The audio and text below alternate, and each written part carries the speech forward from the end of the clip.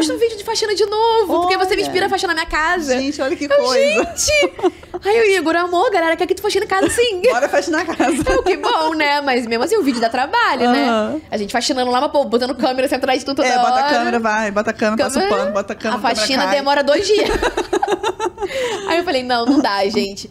E eles queriam que eu ficasse falando sobre casamento. E eu falei, cara, não tô me sentindo muito confortável com esse tema, porque não era o que eu queria falar. Entendi. E aí eu dei uma pausa, porque eu vi que o público inteiro era sobre casamento. Aham. E tem que falar, postar receita de comida, postar não sei o que de Você comida. cozinhava, né? Você eu Cozinhava, mostrava receita, eu lembro postava disso. receita. E aí eu falei, amor, mas tá ficando pra mim, assim, não é o que eu quero. Dani estava faxinando e cozinhando dia Não inteiro. é? Falei, gente, não tá, não é esse conteúdo que eu quero. E o, e o pessoal do YouTube é muito assim.